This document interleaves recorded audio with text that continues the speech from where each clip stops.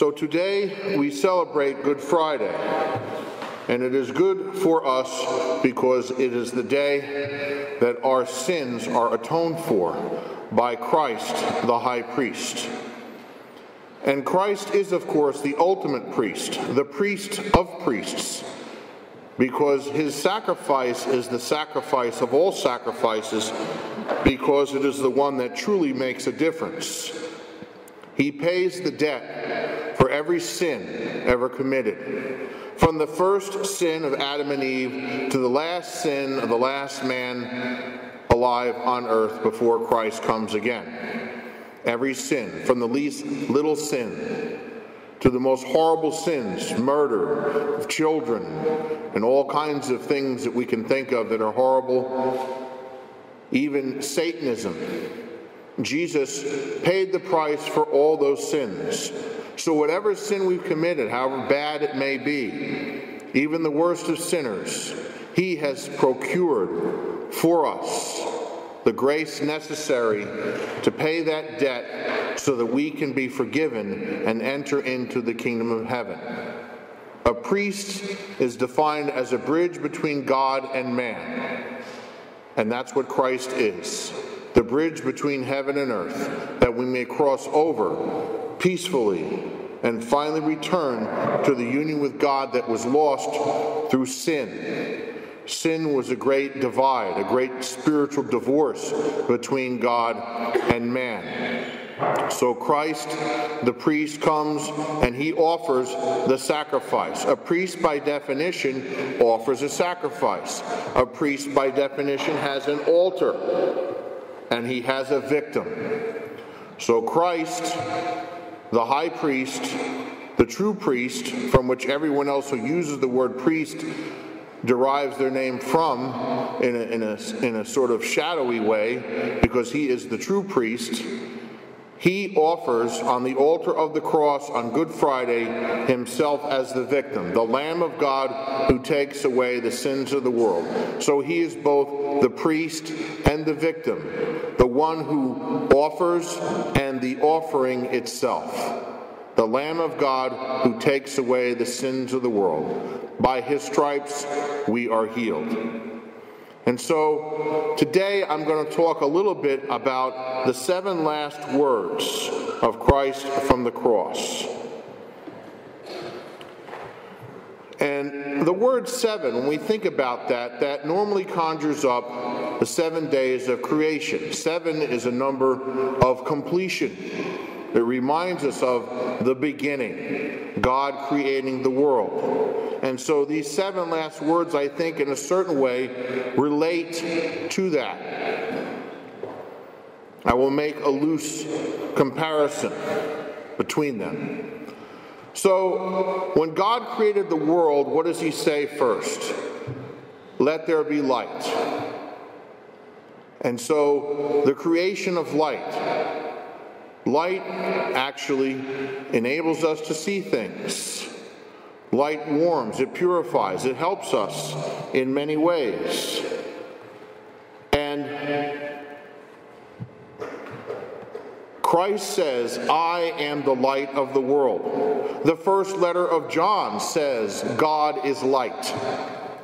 And so, this light, how do we relate that phrase, let there be light, to the first words of Jesus from the cross? Jesus says from the cross, Father, forgive them, for they do not know what they are doing. Luke chapter 23, verse 34. And so, the forgiveness of God. That is the whole purpose of the crucifixion to obtain the forgiveness of God. And so that light of God's truth, God's love, God's mercy, God's forgiveness comes to us through Christ as he says those seven last words. And he says those words which are the ultimate goal of the work he's doing on the cross forgiveness. Father, forgive them, for they do not know what they do. And so, because when we commit a sin, we do so in ignorance, we don't have full knowledge of what we do and all of its effects, we can be forgiven. Thank God for ignorance.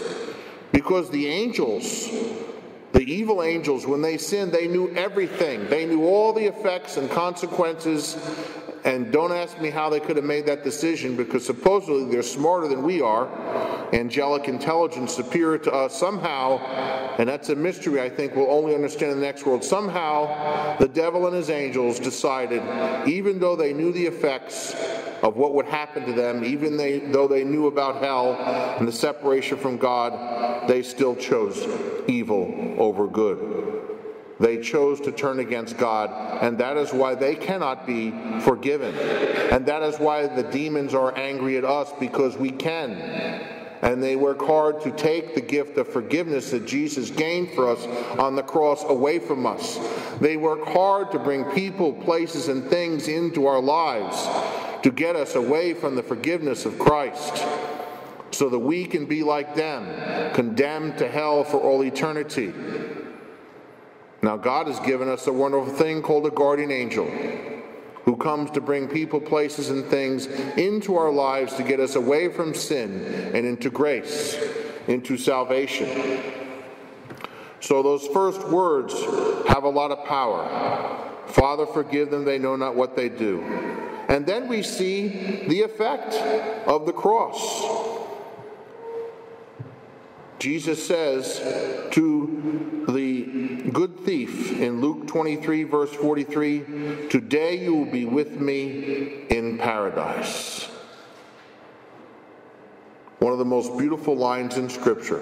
So, from forgiveness on the cross follows the gift of paradise that Christ gained for us that day. Christ, the new Adam, undoing what the old Adam did. The old Adam caused us to lose paradise. The new Adam, Christ, brings us the return to paradise.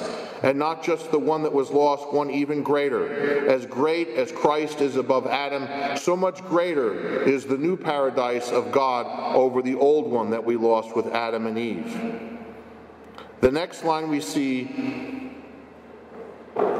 Behold your son. Woman, behold your son. And to John, behold your mother. Christ dying on the cross as part of his last will and testament, along with the gifts of forgiveness and paradise, he gives us a wonderful help to the road to heaven in his mother. He makes his disciple John, who represents all of us, his brother. Now, notice he doesn't say in there, Son, behold your mother. He just says, Behold your mother. Significant difference because Christ becomes our brother. And then when he dwells within us, Mary becomes our mother. So we are brothers and sisters in Christ. And then we have the same Father, God the Father. We have the same mother, Mary. So he said to Mary, Woman, behold your son, because she is the new woman, replacing Eve, the first woman. Mary is the new Eve. And so, through her obedience to God, she undoes the disobedience of Eve. Eve listened to a fallen angel and brought sin and death. Mary listened to a good angel, the archangel Gabriel, at the Annunciation. She and she obeyed God. Let it be done to me according to the, your word. And through her obedience, she brings grace and redemption the incarnation of Christ within her womb, the beginning of our salvation. So Mary becomes our mother, and Jesus gives him to her as he's dying on, from the cross. He gives us his mother Mary, along with giving us paradise and forgiveness. He bequeaths to us this wonderful woman to be our spiritual helpmate so when we pray, she prays for us and with us. The first miracle of Jesus is worked at the wedding feast of Cana through Mary's intercession. She intercedes on behalf of the couple and tells Jesus they have no wine, and he works his first miracle through her request. and that is the beauty of devotion to Mary. The Hail Mary prayer Holy Mary, Mother of God, pray for us sinners now and at the hour of our death. And so when we pray the Hail Mary prayer, she prays for us and with us, together, the two of us us sinners on earth and the highest saint in heaven, the Queen of angels and saints, the Queen of heaven and earth, praying for us and with us, worshiping God together, us and Mary, because Jesus said, She is now our mother from the cross. He established a new relationship with all of his disciples and his mother by the power of the Word of God. The same Word of God that said, Let there be light, and there was light the same word of God that took the bread at the Last Supper and said, This is my body, and it is his body, blood, soul, and divinity, consecrating the Eucharist, fulfilling his words, I will give you the bread of life, the true bread of life, not as your fathers ate um, in the desert the bread of angels, the bread of life, the living bread come down from heaven. So that same powerful God spoke from the cross and said to Mary, Behold your son, and to John, Behold your mother. And those words apply to us. She is our spiritual mother, given to us by Christ when he dwells within us through faith, through the sacrament of baptism, through Holy Communion. We are one with Christ, and just as he entered our human family, we enter his divine family, and we can say, Our Father who art in heaven, and he is our Father because we are sons and daughters of God because of what Christ has done on the cross. And because of the incarnation, and so too we can say, Hail Mary, full of grace, the Lord is with thee, our mother, blessed among all women. As we go on further, we see Jesus revealing his humanity, that he is one with us. Quoting from Psalm 22 My God, my God, why have you abandoned me? And so we see Jesus pointing out to us it's okay to cry out to God when we are in pain. He's doing it too from the cross, the agony of being on there for hours with those nails in his hands and in his feet, hanging on the cross, suffering in agony. But we are called to carry the cross. We are called by Jesus. He says, You cannot be my disciple unless you deny yourself daily, take up your cross, and follow me. So we deny ourselves daily when we say no to sin and yes to prayer. That's what we are called to do, to deny ourselves the forbidden fruits of this world, that we may eat of the bread of life with a clean conscience and receive the fruit that comes from the new tree of life, the cross. And the fruit of the cross is the body, blood, soul, and divinity of Christ. And so the connection between the cross and the Last Supper, as I mentioned, we see powerfully connected. The first time the word priest is mentioned in Scripture in the book of Genesis. It talks about Melchizedek, who was a priest of Salem. Salem means peace. It would later be Jerusalem, and that's where Jesus is crucified. And the inscription over his head is King of the Jews. He's the King of the Jews, the King of the heavenly Jerusalem. And so it says Melchizedek, a priest of God, king of Salem. So he's a priest king. He sacrificed or offered, depending on the translation, bread and wine. And that's what Jesus does. And so the bread and the wine, the Eucharist, is what connects us to Christ. That's how we receive the benefit of the work of the new Adam and the new Eve. Christ completes his work on the cross, his, the, the power of the work of redemption. And so the fruit of the cross is the body, blood, soul, and divinity of Christ. It is the Eucharist. It is the delivery system, as it were, of the grace of God to our souls in Holy Communion. Next, we see the words, I thirst. What does he thirst for? Is it water? No. Jesus is thirsting for us to love him in return with sacrificial love as he is loving us from the cross with his greatest sacrificial love. that of giving his life for us. Jesus said, Greater love than this no man has, that he laid down his life for his friends. I have laid down my life for you. I call you my friends, and you are my friends if you do what I command you. So again, the commandments help us stay with Christ. It makes us his friends, his brothers and sisters. It brings us into the family of God. Obedience to the command of God. So he thirsts for us to love him.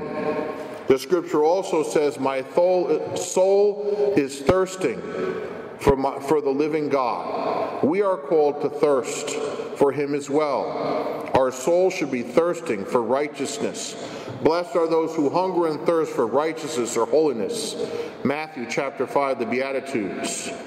And so we seek to have that within our souls, that we thirst for the love of God as He thirsts for us to return the love He showed us on the cross. Finally, the sixth word, remember, on the sixth day, God does His last creation, the creation of man and woman. And so He says here, it is finished the sixth word of Christ from the cross, the sacrifice is finished. It is now complete. The world has been redeemed. God has done his part.